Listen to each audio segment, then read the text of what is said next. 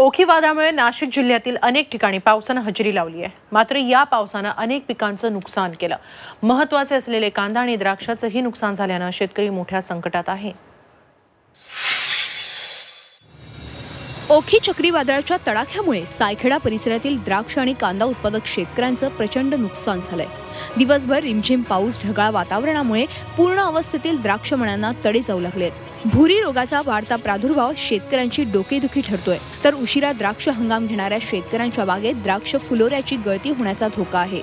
द्राक्ष बागांचं पूर्णपणे नुकसान झालं या पावसामुळं. हे लाल कोळीचा प्रादुर्भाव वाढलाय बुरी डावण्या पावसामुळं याचं फार मोठं नुकसान होऊन राहिलं तयार मालाचे क्रॅश जाऊ राहिले तडे जाऊ राहिले तयार मालाला. कांदे जे काढायला आलेले ते आता सडण्याच्या स्थितीमध्ये.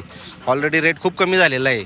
त्यामुळे व्यापारी पण कमी भावात घेऊ राहिलेला आहे. द्राक्षांना पण बुरी रोग बऱ्याचशा डावणीचा प्रादुर्भाव बरेचसे आता प्रॉब्लेम सुरू झालेले. आता म्हणजे शेतकऱ्यांचा खर्च खूप वाढलेला आहे आता. पावडरी म्हणजे आता मारायला सुरुवात करावं लागणार आहे. जिल्ह्यातील मनमाड सटाणा परिसरात लाल कांदा काढणीला वेग आलाय. कमी पाणी मुरमाड जमीन ह्यामुळे ह्या भागात लाल कांदा लागवड जुलै ऑगस्ट महिन्यात केली जाते. ह्या भागातील कांदा काढणीला वेग आला असताना अस्मानी संकटामुळे शेतात काढून पडलेला कांदा आणि काढण्यासाठी आलेल्या कांद्याचं नुकसान झालंय. पावसाचं पाणी लागल्यामुळे कांदा खराब झालाय. शेतातच कांदा सडण्याची शक्यता असल्यानं शेतकरी हवालदिल झालाय. भाजीपाल्यालाही फटका बसलाय.